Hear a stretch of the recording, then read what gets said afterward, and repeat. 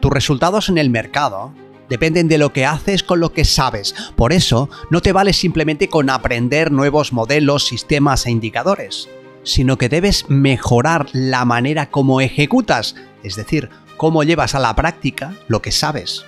Y ahí está uno de los puntos clave, el que ejecuta el nuevo sistema, cualquier sistema que aprendas, sigues siendo tú, con tus sesgos cognitivos, tus sombras y tus necesidades psicológicas, así que para mejorar tus resultados en el mercado, necesitas encontrar una manera de trabajar sistemáticamente en ti. Si no eres capaz de hacerlo, seguirás dando vueltas y más vueltas en un ciclo sin fin. Aprendes un sistema, lo ejecutas sin el tipo de éxito que buscas, así que aprendes otro y luego otro más, siempre con la sensación de que te falta algo, de que el éxito está tras el nuevo modelo, el nuevo método, el nuevo indicador. Y no paras a reflexionar que quien está en todos tus problemas, quien sigue consiguiendo esos resultados, es la misma persona, eres tú. Cambias el método, el estilo, el mercado pero no cambias quien ejecuta ese método, lo que te condena a lograr el mismo tipo de resultado insuficiente. Si verdaderamente quieres dar un salto hacia adelante como trader, antes o después tienes que trabajar sobre ti. Ahora bien, ¿cómo se supone que lo harás? No te bastarán las buenas intenciones. Para mejorar tu juego interior necesitas una aproximación sencilla y eficiente. Soy Vicens Castellano, responsable del programa de formación y entrenamiento Milenio de Trading de Futuros. Y en esta ocasión es justo lo que quiero compartir contigo, una forma de trabajar sobre la mente del operador.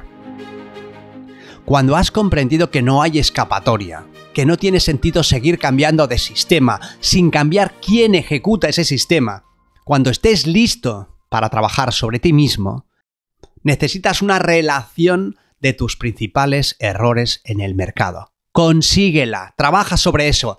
¿Eres de los que improvisa entradas? ¿Eres de los que dobla posiciones cuando el mercado va en su contra? ¿De los que se queda mirando sin entrar al mercado hasta que es demasiado tarde?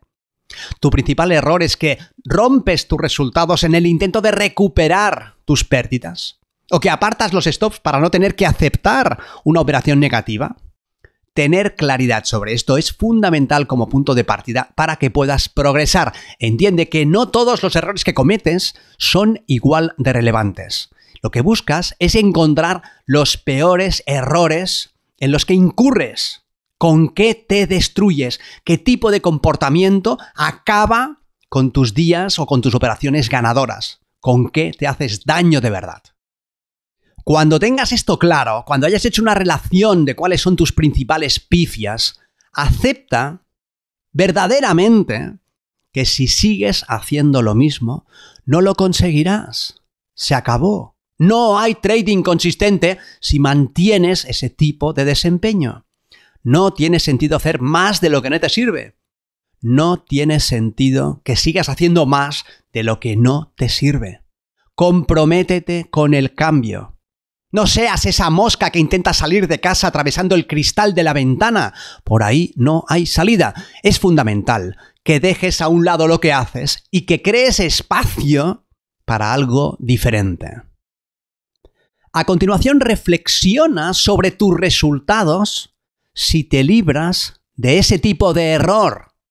En la mayoría de casos, los traders serían consistentes con evitar ese comportamiento. No necesitan muchas más herramientas, modelos o sistemas, sino dejar de ir en su contra. Sin esos errores, podría muy bien ser que ya fueses un trader ganador. Si entiendes eso, si te das cuenta de que podrías estar siendo consistente, pon tu foco de atención en un solo desempeño autodestructivo. Comprométete con él. No intentes eliminarlo todo a la vez. No operes ningún día sin haber puesto tu foco de atención en tu prioridad. Debes superar ese error, el principal, el peor de todos. Ahora bien, nuestra mente no procesa la negación. Si te digo que, sobre todo, sobre todo, no pienses en un elefante verde, ¿qué hace tu mente? Si te digo que no pienses en qué día de la semana estás, ¿qué sucede? Si te pido que no pienses en el país en el que te encuentras, ¿qué pasa? Tu mente se lanza a responder justo lo que quieres evitar. Así que no irás al mercado pensando en evitar determinado error, porque lo que lograrías sería centrar tu atención en el comportamiento negativo. Lo que harás en cambio será determinar la versión positiva de ese desempeño. Si tu comportamiento más destructivo es que apartas el stop, en vez de comenzar tu sesión centrándote y diciendo, no apartaré los stops, te dirás, dejaré los stops en el punto en el que deben estar. Si lo que acaba con tus resultados es salir antes de tiempo de las operaciones ganadoras, en vez de centrarte en no salir antes de tiempo, te centrarás en mantenerte dentro del mercado durante todo el recorrido potencial. Si lo que sueles hacer cuando vas en tu contra es improvisar, en vez de centrarte en dejar de improvisar, te centrarás en tomar operaciones solamente cuando se ajusten al modelo operativo. Ya pillas la idea. Lo siguiente que harás será reforzar tus logros. Agradece que estás en el camino hacia un mejor desempeño, hacia una mejor versión de ti mismo frente al mercado. Es importante que tu mente vaya comprendiendo que esta es la dirección que debe tomar. De esta manera, dando un paso cada día y todos los días, conseguirás el tipo de trading consistente que eres capaz de hacer. Así que tienes claros cuáles son tus errores. Aceptas que si sigues haciendo lo mismo, no lo conseguirás. Reflexionas sobre qué tipo de resultados estarías consiguiendo sin ese comportamiento. Y empiezas la operativa cada día y todos los días poniendo tu foco de atención en la expresión positiva del comportamiento que sí quieres expresar. Y finalmente, refuerzas cualquier avance, cualquier logro. Ahora bien, ¿qué pasa cuando a pesar de saber lo que está mal, sigo haciéndolo una y otra vez?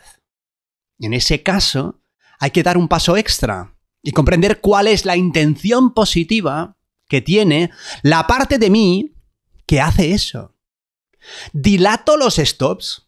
Hay una parte de mí que quiere evitar el sufrimiento asociado a una pérdida. Corto rápidamente las ganancias. Hay una parte de mí que quiere evitar la tensión emocional asociada a un resultado incierto. Siempre hay una intención positiva. Improviso una entrada. Hay una parte de mí que quiere evitar el trabajo de un buen análisis.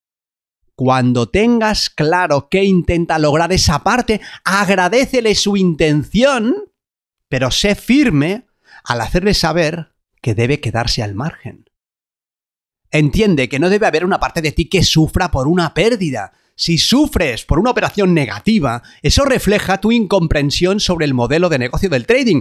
Las pérdidas son el precio que pagamos para lograr beneficios. Es como si el propietario de una tienda sufriese por el pago del alquiler. Eso forma parte del modelo de negocio. ¿Te activas a nivel emocional porque el resultado de una operación es incierto?